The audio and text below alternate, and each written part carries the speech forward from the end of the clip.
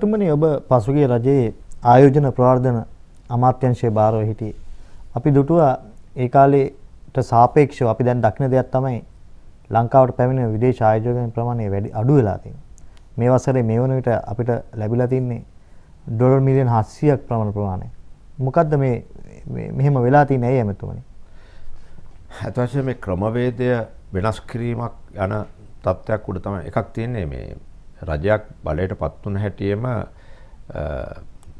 ආයෝජනය පිළිබඳ රජයේ තියෙන මතය හරියටම ස්ථාපිත වෙනකන් ආයෝජන වලට ආයෝජක වෙන්නේ. ඒ කියන්නේ මේ රජයක අසුනම් ප්‍රතිපත්තිය මොකක්ද කියලා බලනවා කාලයක් යනකම් ආයෝජනය. අවුරුදු දෙකකට ආසන්න.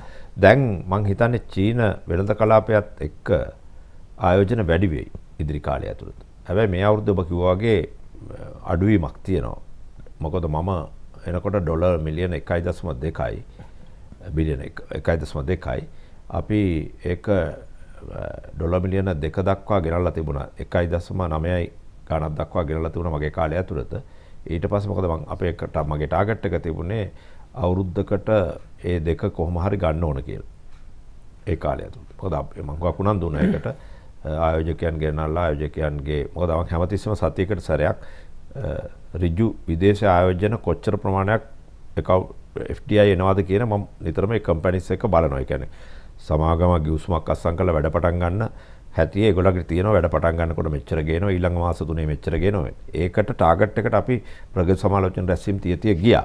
හැබැයි අර දේශපාලන වෙනස් වීමක් වුණාම සාමාන්‍ය ස්වාභාවිකයි මේ වගේ දෙයක්. හැබැයි මම හිතනවා දැන් දැන් චීන ආයෝජනය ප්‍රධාන වශයෙන් ෆෝර්ට් සිටි එකේ වැඩේ කරනවා. ඒකට ඩොලර් බිලියන 1.4 හතරක් වෙනවා. ඒකෙන් කොටසක් දැන් එන්න පටන් ගනි. ඊළඟට අනිත්ව චීන වෙළඳ කලාපය ඇති වෙනකොට ඒ ආයෝජනයයි. ඊළඟට වෙනත් ආයෝජන එනේවා දැන් සාකච්ඡා කරගෙන යනවා මෙගා පොලිස් වලින් විවිධාකාරයෙන්. ඒක නිසා මම හිතන්නේ තව අවුරුද්දකින් විතර යනකොට මේ ප්‍රශ්නේ ගොඩක් අඩු වෙයි කියලා. එමෙතුනේ දැන් ඔබතුමා සඳහන් කළා චීන ආයෝජනය ගැන හම්බන්තොට දිස්ත්‍රික්කයේ. දැන් අපි අපි පසුගියදා දැක්කා මේ හිටපු ජනාධිපතිවරයා පාර්ලිමේන්තුවේදී කතා පැවැත්තුවා. ඔහු එහිදී කිව්වේ මේ හම්බන්තොට එක බිම් අංගලක්වත් විදේශිකයන්ට දෙන්නේ නැහැ කියලා. දැන් ඒකේ ක්‍රමවේදය මොකක්ද ওই චීන ආයෝජනේ? නෑ ඒක මේ ඔප්පු මගින් දෙන එකක් 100%ක් දෙන එකක් නෙවෙයි. මේ ආයෝජනය කියන්නේ අර බදු ක්‍රමයක්. ඒ බදු ක්‍රමය අවුරුදු 30ට 99ට ඒ විදිහට නේ බදු ක්‍රමය සකස්සලා තියෙන්නේ. දැන් රජය තුල එකඟත්වයක් තියෙනවද කොපමණ කාලයකටද දෙන්නේ කියලා? නෑ දැන් මේ ඒ ආයෝජනය රිකවර් වෙන ආකාරයට නේ මේක ගිවිසුම් එන්නේ ඉස්සරහට. ඒ කියන්නේ ඒගොල්ලෝ ආයෝජන කරන ප්‍රමාණයයි ඊළඟට ඒක දැන් 99 අවුරුදු බද්දට දුන්නම ඒ කාලය ඇතුළත උන්ගේ ආයෝජනය ඒගොල්ලන්ට ලබා ගන්න පුළුවන් ඒගොල්ලේ ලාභය උන්ට ලබා ගන්න පුළුවන්. ඒක ප්‍රශ්නයක් නෑ. හැබැයි රටට රැකියා අවස්ථා ලැබෙනවා. විදේශ විනිමය ලැබෙනවා. ඒව රට ලැබෙනවා. හැබැයි ඒගොල්ලන්ට ඒගොල්ලෝ සල්ලි ගේන්න ඕන. ඒගොල්ලෝ ආයෝජනය කරන්න ඕන. ඒගොල්ලෝ ආයෝජකයෝ හොයා ගන්න ඕන. දැන් ප්‍රධාන දේ තියෙන්නේ ඒ චීනට ඒක දුන්නම චීන ආයෝජක වෙනවා. ආයෝජක හොයාගන්න ඒගොල්ලෝ සංවර්ධනය කරන්න ඒගොල්ලෝ අපි මූලික පහසුකම් ටික විතරයි සකස් කරලා දෙන්න ඕන. ඉතින් ඒක මම හිතන්නේ පාඩුවක් නෑ. දැන් අපි ඔය කතා කරාට වියට්නාම වගේ රටවල් වලින් අපිට වැඩි ඉස්සරහට ගියේ ඇයි? මේ ඉඩම් ඔය ආයෝජකයන්ට පහසුකම් දුන්න ඕන තරම්. මැලේසියාවේ පහසුකම් දුන්න ඕන තරම්. මේ ලංකාව විතරක් නෙවෙයි මිනිස්සුන්ට ආයෝජනය කරන්න තියෙන්නේ. අපි තේරුම් ගන්න ඕන මේ අපි ලිඳේ ඉන්න වැඩියෝ වගේ අපි කියනවා අපේ මේක දෙන්නේ නැහැ අරක දෙන්නේ නැහැ.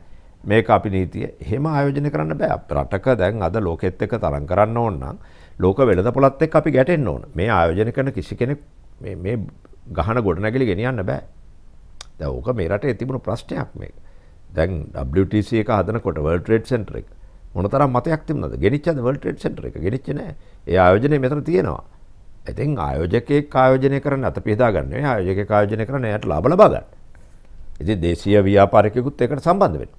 මෙතුමනි ජනතාවට හරි විදියට මේ තොරතුර යන්න නම් ඔබ කියන්න ඔබට පාසන්න පුළුවන්ද?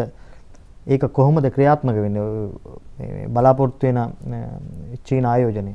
ප්‍රධාන වශයෙන් චීනයේ එක්ක ගිවිසුමක් දැන් තියෙනවනේ. මේ ආයෝජනය මෙහෙට ඒගොල්ලෝ කැමතියි කියලා. අපි ඉඩම් සහ අනිකුත් පහසුකම් ටික අපි ලබා දෙන්න ඕන අක්කර 15000 15000 ඒතර මොණරාගල පැත්තේ ඊළඟ එක මොණරාගල පැත්තට තියෙනවා තවත් බිම් ප්‍රමාණයක් ඉතින් මේවා මං හිතන්නේ ඉදිරි කාලේදී සාකච්ඡා කරලා සිද්ධ වෙයි. ඒක ගැටලුවක් වෙන එකක් නැහැ. එමෙතුමනි දැන් අපගේ අපි පසුගිය කාලේ දැකපු තව දෙයක් තමයි ලංකාවේ ණය ප්‍රමාණය වැඩිවීම. දැන් ඔබ මුදල් රාජ්‍ය අමාත්‍යවරයා. ඇත්තටම ලංකාවේ ආර්ථිකය පිළිබඳ තියෙන චිත්‍රය කුමක්ද? අපි මැදි ආදායම් ලබන රටක් බවට පත් වෙලා තියෙනවා දැන්. හැබැයි අපේ ණය ප්‍රමාණය වැඩි. ණය ප්‍රමාණය වැඩි නිසා අපි මේ ණය ප්‍රමාණය අඩු කරගෙන තියෙනවා මේ වෙලාව වෙනකොට මේ ගෙවීම් වලින් මිලියන 1800ක් අපි ගෙවන්න ඕන. ඒ වගේම වාරිකය සහ පොලි අපි ගෙවන්න ඕන. ඒක දැන් නියමානුකූලව ගෙවාගෙන යනවා. දැන් උදාහරණයක් හැටියට ගත්තොත් රාජ්‍ය දේශීය ණයත් අපි අඩු කරගෙන තියෙනවා. දැන් පෙට්‍රෝලියම් එකේ ණය අඩු කරගෙන තියෙනවා. විදුලි බල භණ්ඩේ ණය අඩු කරගෙන තියෙනවා. ඒ වගේම අපි විදේශීය ණය වාරික ගෙවාගෙන යනවා.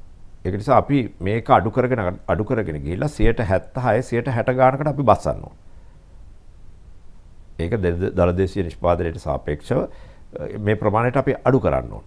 එතකොට ඒක අඩු කරගෙන ගියාම අපි විදේශ ණය අඩු කරගෙන ආයෝජන FDI වැඩි කරන අපනයන ආදායම වැඩි කරගන්න ඕනේ. ඒක තමයි මේ ඉදිරි සැලැස්ම. ඒකට අපිට යන්න පුළුවන් වෙයි. ඇමතුමනි දැන් ඔබ ඔබතුමා කිව්වා අපනයන ආදායම ගැන. අපේ අපනයන ආදායම ඩොලර් බිලියන 10ක් වගේ ප්‍රමාණයක තියෙනවා. දැන් මේ මේ රටේ ආර්ථිකය අපි දකින දේ තමයි විදේශ ආයෝජකයන් පැමිණීමට යම් මැලිකමක් දක්වන්නේ. මේ සඳහා විශේෂ ක්‍රියාපිළිවෙලක් තියෙනවද දැන්? ඔව් දැන් ඒක තමයි මේ ආයෝජන කලාප පිහිටවීමේ ප්‍රධාන පරමාර්ථය. විදේශ ආයෝජකයන්ට ඒ පහසුකම ලබන කලාප ක්‍රමයක් ගැසට් කරාට පස්සේ ඒ කලාප ක්‍රමය තුළ බැඳීම් නැහැ ගොඩක් දුරට. එතකොට ඒවා නිදහස් වෙනද කලාප වෙනවා. ඉතින් ඒ කලාප තුළ මේ පහසුකම් එනවා. එතකොට අපනයන ආදායම් වැඩි කරගන්න නම් ඍජු විදේශ ආයෝජන එන්න ඕන FDI. එතකොට ඒ එන්න එක තමයි මේ ආයෝජකයන්ට ආරාධනා කරලා තියෙන්නේ. ඉතින් ඒක ආපු ගමන් විදේශ ආයෝජන වැඩි වෙන්නේ නැහැ. නමුත් අවුරුදු දෙකක තුනක කාලයක් ඇතුළත විදේශ ආයෝජන වැඩි වෙයි. ෆෝඩ් සිටි එකෙනුත් ප්‍රයෝජනයක් ඒ තා අවුරුදු දෙකක් යනකොට. මම හිතනවා අපිට මේක ගැටලුවක් වෙන්නේ නැහැ. අමෙතුමනි අපි අවසාන කිරීමට පෙර මම ඔබතුමාගෙන් අහන්න කැමති අපි ඉන්දියාවත් එක්ක කිවිසුමක් මේ සාකච්ඡා කරමින් පවතිනවා. මේ පිළිබඳ රජයේ මේ එකඟත්වයක් තියෙනවා කොහොමද රජයේ තවම පොදු එකඟතාවයක් නැහැ අවංකව. මොකද ඒක අපේ මතේ තියෙන ජනාධිපතිතුමා මතේ තියෙන ශ්‍රී ලංකා නිදහස් පක්ෂය ජනාධිපතිතුමා මතේ තියෙන මේක පාර්ලිමේන්තුවේ සාකච්ඡා විය යුතුයි කියලා. මොකද හොඳ සහ නරක දෙකක් තියෙනවා. එළියට බහලා අපි නිකම්ම කෑ ගහන එක නෙවෙයි. මේකේ හොඳ දේවල් ගොඩක් තියෙනවා.